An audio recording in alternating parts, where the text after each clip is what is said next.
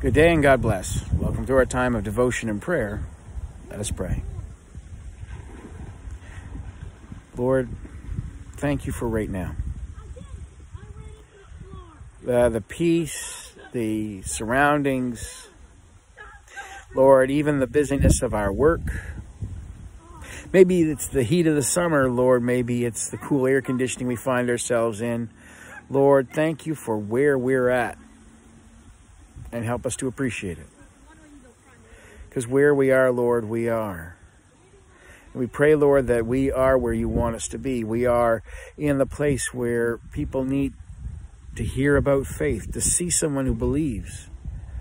Lord, it might not be that we have to give some tremendous testimony, but just help us to speak openly and freely about our lives, about where we're going, about how we're getting there. And we pray, Lord, that we will have the opportunities to say how we believe in you, what we believe about you. And we're, we're ready, Lord, and help us to be ready and courageous to have someone check what we believe by what they believe and what their experience is. Because we can't do this alone. And we're not called to your kingdom alone.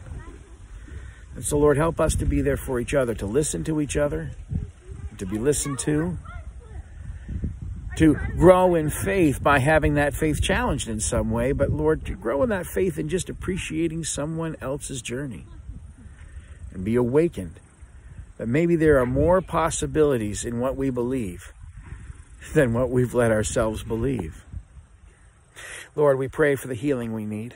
Maybe it's bodily healing, physical healing, certainly spiritual healing. Our world is in so much need. There are so many people in need of spiritual renewal and healing. They've been grasping onto anything, Lord. These flitting, floating spiritualities that placate us for a day. They make us feel good for right now, but tomorrow they're gone and they don't mean anything. So lead us back to the way that is truth, that is Christ, that is life everlasting.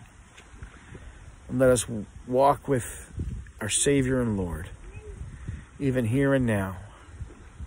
This day we pray in Jesus' name. Amen.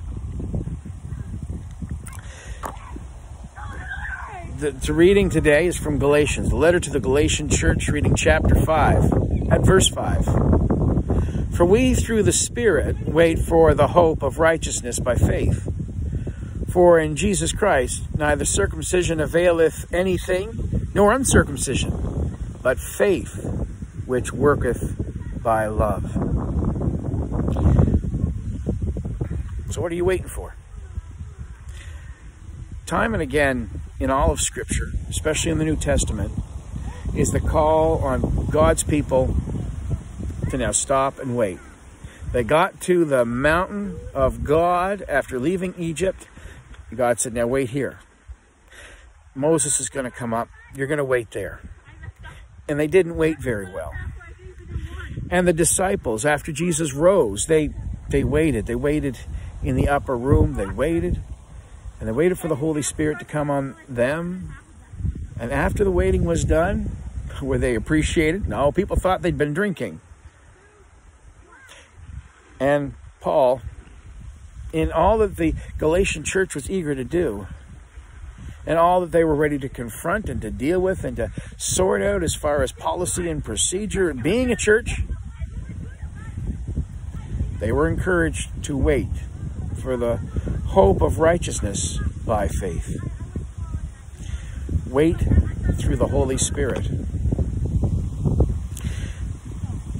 And Paul wants them to be able to resolve that it, the, the, the issue isn't the issue. The, and so often what we do with our faith is we make non-issues our issue. So in in this circumstance, it was is are, are, we as Christians to be circumcised or uncircumcised? And this was a, a critical, crucial thing. Paul's saying, no, it's not. It never was. And the church had to realize that. Because what circumcision was all about was faith, was making faith apparent and obvious, that there be no question of what their faith was. That they trusted in God so much that they would circumcise. But in Jesus Christ, It's faith. Faith that works by love. And if you want to show your faith in Christ, it's not all these other things about being a Christian. It's most of all about love. Can you love like Christ commands you to love? God bless and keep you. Amen.